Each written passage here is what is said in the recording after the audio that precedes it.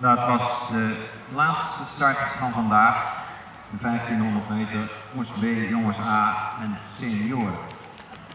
Zodra die gefinished zijn, verlaten we het uh, atletiek onderdeel en gaan we over naar de veiling ten behoeve van de clinic clowns.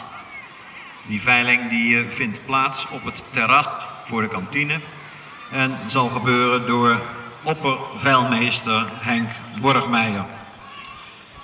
Dus direct na de finish van deze 1500 meter de veiling ten behoeve van de Clinic Clowns door opperveilingmeester Henk Borgmeijer.